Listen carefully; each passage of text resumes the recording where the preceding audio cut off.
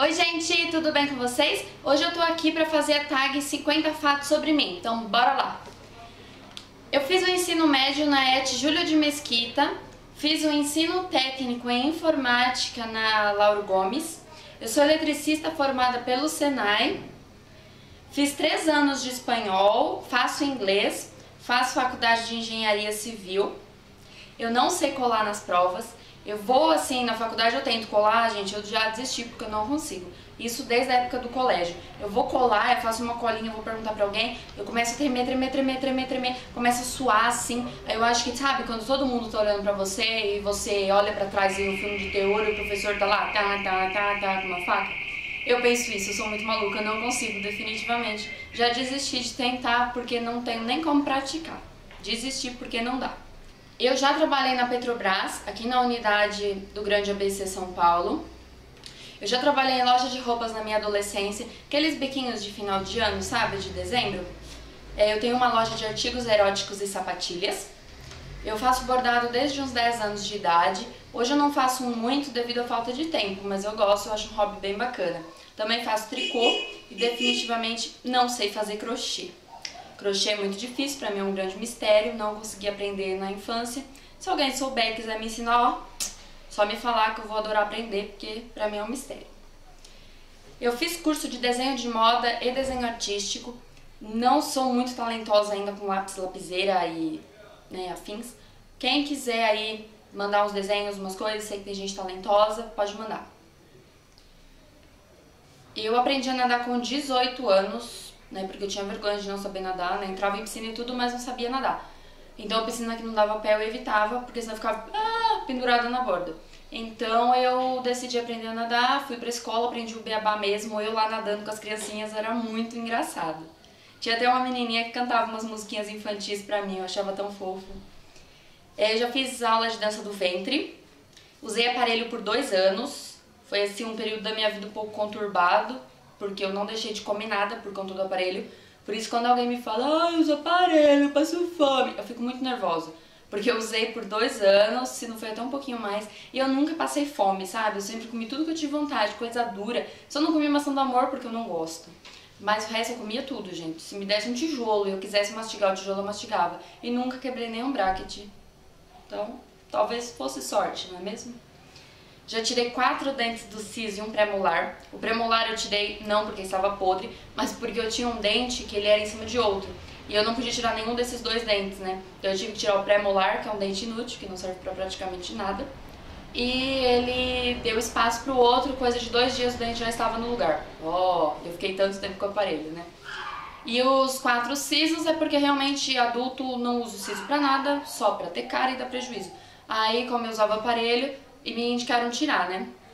É, quando eu fui tirar, eu tirei, né, fiz várias cirurgias, quando eu fui tirar o siso de baixo do lado direito, é, ele estava deitado, a raiz dele estava deitada, e eu tive muito problema durante a cirurgia. E eu engoli um dente.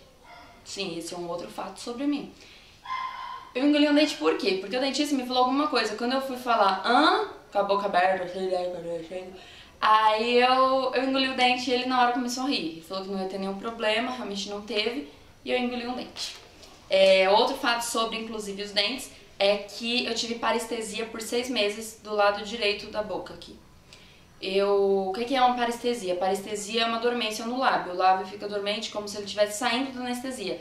Só que como foi muscular, né, por conta do, do dente que estava deitado, mexeu, machucou muito a musculatura, eu fiquei seis meses com a boca dormente. Eu não quis fazer tratamento médico, então eu fiquei com essa parestesia mesmo, mas passou, eu tô pronta pra outra. Eu já desmaiei duas vezes. Foi uma dentro do hospital e uma na porta de uma loja. Bem humilhante, porque eu fiquei bem suja de graxa. Foi bem triste. Eu fiz xixi na roupa uma vez no prézinho. O xixi foi parar assim lá na frente da sala. Eu fiquei muito constrangida. Mas foi a única vez, juro. Nem xixi na cama eu não fazia. Gente, eu odeio transpirar. Pra mim, transpiração não é coisinha de Deus. Sabe, você sai assim, ai, que horror, suei, odeio. Até ir pra academia era ruim, porque eu transpirava, né, normal. Depois de um tempo até me acostumei com essa transpiração, gente, mas eu odeio. E pior que transpiração quente é transpiração fria, misericórdia. É, outra coisa também, eu odeio lingerie apertada. Roupa em geral, sabe, assim, até a meia, se ela tiver aquele punho apertado, me dá uma angústia, esse negócio ruim, não gosto. Evito, tiro, vou de chinelo, se for preciso, vou descalça. Mas não gosto. Nossa, se alguém quiser me dar um presente, dê um bem maior do que eu uso. Porque apertado eu não uso, não tem jeito. Eu fico me sentindo um colchão amarrado, não gosto. Eu não repito blusa. Por que eu não repito blusa? Por conta da transpiração. Porque eu não aguento saber que eu já usei aquela roupa, sabe? Não por luxo, porque eu uso a mesma roupa 100 vezes. Todo lugar que eu vou, eu vou com a mesma roupa. Só que depois de lavar, pelo amor de Deus. Eu estudo melhor com a TV ligada. A televisão pra mim é uma grande companheira desde que eu era muito pequena, até pra mamar minha mamadeira eu gostava de assistir televisão. Eu ouço rádio só no ônibus. Se eu estiver indo pra faculdade, eu ouço rádio. Se eu estiver indo a alguma consulta médica. Agora, dentro de casa, eu não ouço de jeito nenhum, não adianta, porque a minha companheira é a televisão, não é o rádio. Eu gosto de imagem. Eu fui no Spirit of London de 2012 só porque o Flowrida ia. Quem não sabe quem é ele, procure no Google, por favor. Ele é um cantor maravilhoso, gosto muito. Só que ele não veio. E tinha uma música dele que eu gostava muito e que tocava muito na rádio na época. Eu passei um mês, gente, ouvindo essa música eu chorava feito uma criança. Era rios de lágrima. Porque eu fiquei muito magoada, porque eu paguei caro. Fui eu e meu namorado. E eu fiquei muito triste, porque ele não veio, sabe? Eu achei um descaso total absurdo. Eu amo eletrônica, hip hop, black pop. São assim os meus ritmos prediletos. Tem alguns outros aí pelo meio, só que esses são os principais, que eu mais gosto, que sempre tem no meu celular, no meu computador.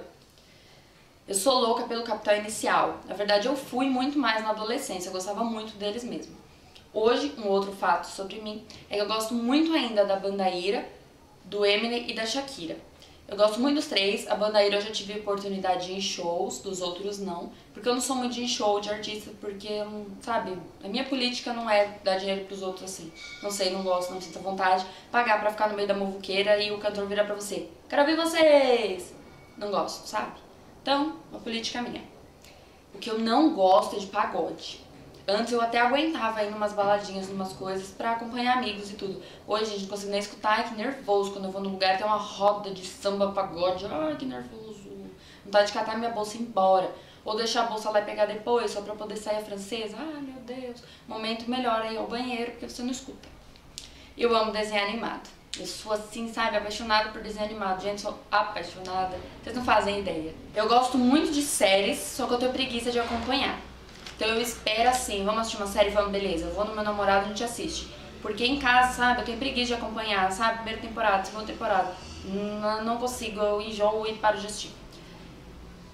Eu sou apaixonada por empadinha de frango e palmito. Gente, eu acho que é uma coisa assim que, que devia ter na rua, sabe? Você passou, pode uma empadinha, você pegar e comer. No entanto, rodeio feijoada e bacalhau. Olha que sortuda, porque são dois pratos quase todo brasileiro gosta e são caros. Bacalhau é caríssimo e eu não gosto. Eu prefiro uma sardinha em lata. Sou econômica até nos gostos. Eu sou louca por doce, gente. Se não tiver um doce pronto, ou eu faço brigadeiro ou como leite condensado puro. Se quiser, eu como até com bolacha de maisena leite condensado. Mas adoro um. É, mas adoro um doce. Eu vendia pão de mel na faculdade para fazer um tutu a mais. Eu já panfletei uma vez, ai senhor, uma amiga minha trabalha para um dentista e eu acabei, né, tá, ela falou, tinha um biquinho lá de panfletar e tal. Eu falei, ai que maravilha, eu ganhei um dinheiro. Gente, pelo amor de Deus, quem nunca fez, não faça, ou faça no frio, porque no calor é. Sim, eu ia trabalhar, trabalhava perto de casa e ia panfletando assim nas casas. Demorou muito para acabar, foi na época da Copa do Mundo, era muito engraçado. E um dia eu tava passando na rua, entregando, voltando do trabalho. E um rapaz me chamou para entrar na casa com a galera lá para assistir o jogo e beber uma cerveja. Olha só, mas eu não bebo cerveja, nem conhecia o pessoal. Mas parecia gente boa. Eu caí na rua uma vez, ai que mico. Eu caí na frente do shopping, sabe? Uh! Fui voando, parecia uma câmera lenta, um negócio absurdo, super anti-gravidade. Foi assim, magnífico. Eu faço drenagem duas vezes por semana já fiz depilação a laser, me arrependi profundamente, porque esse pelo claro, vocês conhecem, não serve. Só que a clínica não foi honesta comigo e não falou a verdade. Então eu só joguei meu dinheirinho fora. Comprei dois pacotes ainda. Triste. Eu tenho sinusite e rinite, e isso, tipo, desde que eu nasci, eu quase que não sobrevivi, porque médico nenhum descobria que eu tinha danada da sinusite, gente. E hoje estou aqui, essa fortaleza, essa pokebola, graças a Deus, porque a medicina quase que não me salva. Quando eu gosto de uma música, isso vai lá naquele princípio de ouvir música no ônibus. Eu fico que nem uma louca, sabe? Ah, meu Deus, vai tocar. Quando vai mudar de música no rádio, eu fico esperando. Eu posso amar a música que eu fico esperando tocar no rádio. Se eu baixar e pôr no celular, não escuto, pego a raiva da música que nunca mais consigo nem escutar. Não sei o que acontece com o meu psicológico. Contar dinheiro me acalma. Parece que contar dinheiro é terapêutico. Quando eu digo que eu tenho uma relação muito boa com o dinheiro, as pessoas me julgam, falam que eu sou mercenária, que não sei o que, que não sei o que, que eu sou capitalista. Mas eu sou, é o jeito, não tem outro jeito. Sou eu, eu sou assim, entendeu? Eu gosto de dinheiro, o dinheiro gosta de mim. Eu conto dinheiro, eu fico numa calma, assim, sabe? Posso estar nervosa o que for. Posso contar moeda, que eu fico numa calma. Aí depois eu lavo a mão, porque eu tenho nojo. Se eu ficar muito nervosa, eu costumo tacar as coisas longe. Antes eu tacava mais, tacava na parede, tacava no chão. Hoje eu só me empurro assim pro lado, sabe? E passa, mas eu tacava na parede, sabe? Esses dias mesmo quebrei um mouse, mas foi por um caso excepcional, porque ele parou de funcionar, não me serve para nada, joguei na parede, quebrei mil pedaços. E depois joguei no lixo. A minha lágrima parece uma cachoeira. E realmente parece, eu não posso negar, porque eu choro, molha tudo, gente, com uma poça aqui, uma poça aqui, porque eu choro muito. Uma lágrima minha, acho que equivale a umas 100 de uma pessoa normal. É muito, muito, muito molhado. É muita água que escorre dos meus olhos, não sei de onde vem tanto. Eu já tive insolação uma vez. Tipo, forte mesmo, porreta foi uma vez só. Tive várias vezes, porque branca desse jeito é fácil, né? Tem uma insolação até na sombra. E foi uma vez, a minha orelha é cozida por conta disso. Porque a insolação foi tão forte que a minha orelha ficou cozida, as duas. Só que essa aqui é mais. Ela dói, eu não posso torcer, sabe? Todo mundo pode mexer na orelha, eu não posso, porque minha orelha dói. E o último fato sobre mim é que eu posso dormir três dias seguidos. Eu entro num ônibus ou num carro, eu viro e E, né, melhor eu parando por aqui, porque vai que eu durmo aqui sentada. Já falei muito. Então, ó, beijo. Espero que vocês tenham gostado. Desculpa a demora, mas eu queria falar um pouco mais sobre mim, não é mesmo? Então, ó, tchau!